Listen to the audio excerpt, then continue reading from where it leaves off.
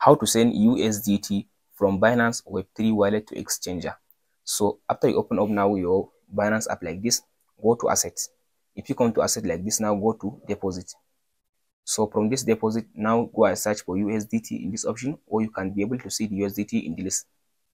After you select USDT, select the network, that's Binance Smart Chain. After you select the network, now tap on this copy to copy the address of your USDT.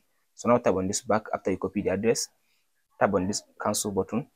So from under the asset, now tap on this wallet at the top.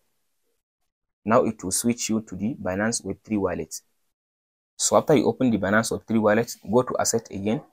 So under the assets, so under the asset, all you have to do now, you can just go ahead now and select USDT from this option, or you can tap on this send button. Just go and select one of them. I will use this one and select the USDT.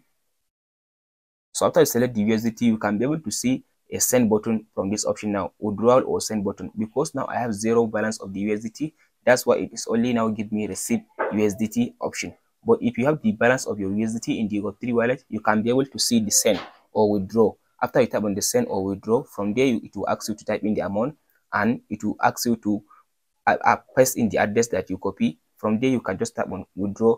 From there the USDT will be sent to your Binance exchanger. That's it guys. Hope this video helps you out. Please like and subscribe.